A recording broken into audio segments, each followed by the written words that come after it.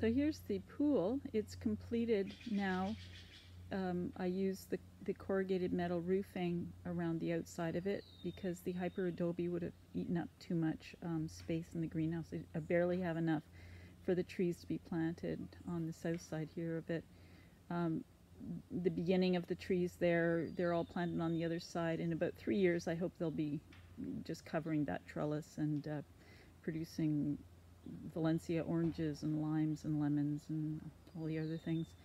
Um, but in the interim, I have passion fruit, Passiflora edulis, cl climbing up there in pots. So when the, the citrus trees get big enough, I'll just pull those guys out.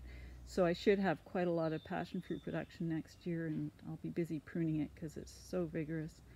Um, yeah, there's the, how I get into the pool over there. Um, I've been swimming in it for a couple of months.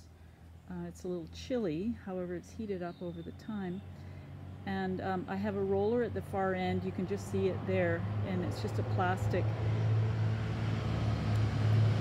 pipe set up um, with brackets attached to the pool and I just turn that and it it takes less than a minute to roll the top off and then I can just uh, grab one end and walk it down and it covers really beautifully so that hasn't been an issue um, I have a sand filter set up it was uh, came with one of the free pools that I got years ago and um, my buddy got it working well and so we're using that so in the uh, right now we're just figuring out how to um, install the solar panels that I got. I got evacuated tube um, second hand, four, four panels of 20 tubes.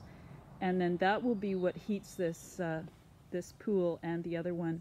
And we'll put a radiator so that we can um, take the heat and circulate it uh, with fans um, around the greenhouse. And that will be in addition to the wood gasifier hydronic um, system.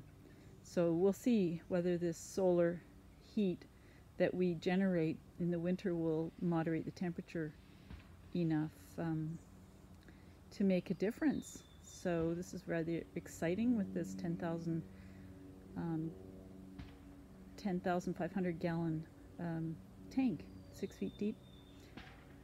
Thanks.